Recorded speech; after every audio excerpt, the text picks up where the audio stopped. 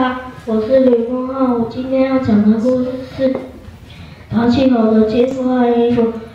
从前从前有有一个樵夫，他叫淘气猴，他很诚实。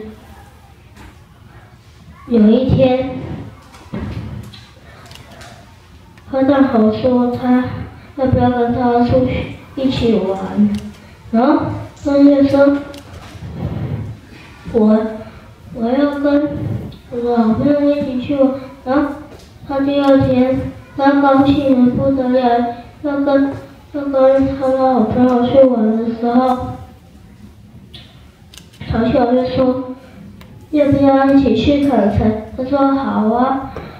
我在家里，他换上好就说我在家里做早餐，你先去。然后淘气猴就去了，啊，他他在。在手里砍柴，砍到一半，他斧头掉掉到河边，他就在河边大哭了起来。然后神就出来了，他说：“神就说我是神。”然后就说我知道。然后神就说你是不是掉了这一把金斧头？神就淘气猴就说不是，我没有这么金。然后是不是掉了这把银斧头？神就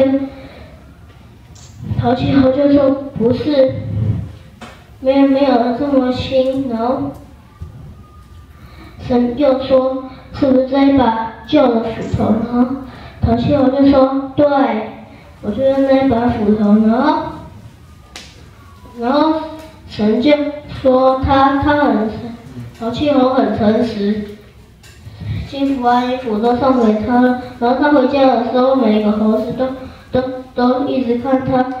他坏蛋猴就说，坏蛋猴就出来说，你你怎么了？呢其他猴子就说，我淘气猴有金服换衣服。呢坏蛋猴就出来，真的吗？嗯他坏蛋猴问淘气猴就。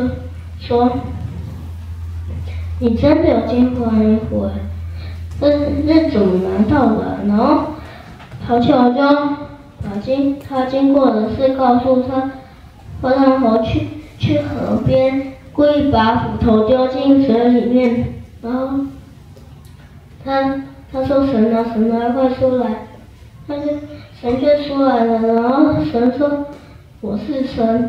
而且，坏蛋猴就说：“我知道，我知道。”神却说：“你是不是掉了这把金斧头？”坏蛋猴就说：“对。”然后神就说：“你很不诚实，我我的斧头都不要给你。”然后，然后他就在河边大哭起来。他他他在哭的时候，